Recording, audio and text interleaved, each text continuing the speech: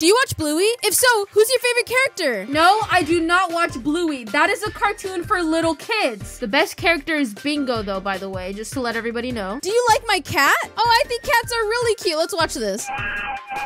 What? Why is he? Why is he yelling at me?